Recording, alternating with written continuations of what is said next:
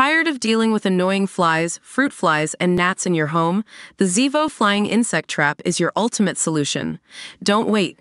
Check out the link in the video description now to get your Zevo Flying Insect Trap on Amazon and enjoy a bug-free home today.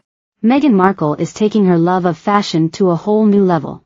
In a New York Times interview published Wednesday, the Duchess of Sussex, 43, revealed that she recently invested in Cesta Collective, a mission-based handbag brand she's worn numerous times over the past couple of years.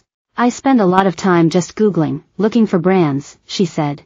When people are online looking for things or reading things, I'm trying to find great new designers, especially in different territories. Cesta Collective's signature basket bags are handwoven by women in Rwanda, whom we are proud to pay 500 to 700% times the national average salary, as the brand states on its website, and then finished in Italy. Markle first carried the company's drawstring bucket bag, $790, during a May 2023 dinner date with husband Prince Harry and pals Gwyneth Paltrow and Cameron Diaz at Sushi Bar in Santa Barbara. The style promptly sold out.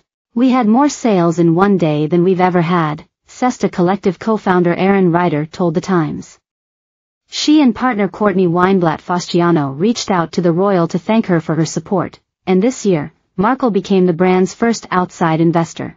Markle spoke to her fashion influence in the interview, recalling how after she carried a Strathberry midi tote, $845, at a 2017 public engagement, it similarly flew out of stock, in just 11 minutes, no less. That moment changed everything in terms of how I then looked at putting an outfit together, she said. By clicking above you agree to the terms of use and privacy policy. Times where I know there is a global spotlight, and attention will be given to each detail of what I may or may not be wearing, then I support designers that I have really great friendships with, and smaller, up-and-coming brands that haven't gotten the attention that they should be getting.